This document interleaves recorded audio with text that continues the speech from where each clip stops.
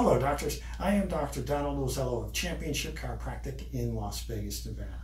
Resisted cervical lateral flexion with a weight plate is an advanced strengthening exercise for the cervical spine.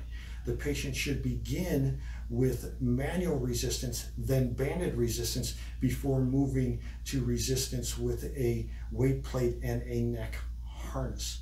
Patient is side lying in good posture.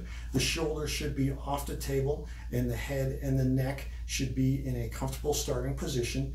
The weight plate is secured to the chain and the chain is secured to the neck harness in two positions. You can see I have it secured in the back and in the front. I want the patient to make sure that their neck is in line with the spine. We don't want the neck in flexion. We don't want the neck in extension, just in a neutral position.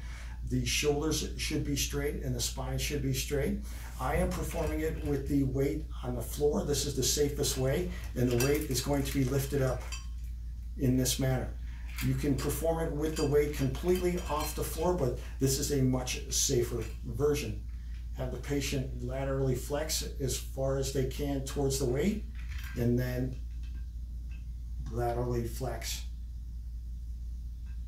the neck. Always work through a pain-free range of motion.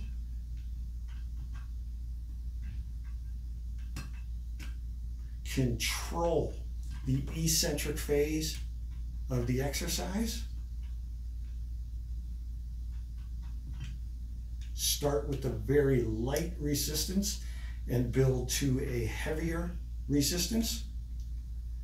Once you have completed the desired number of repetitions for one side, then switch and perform on the opposite side.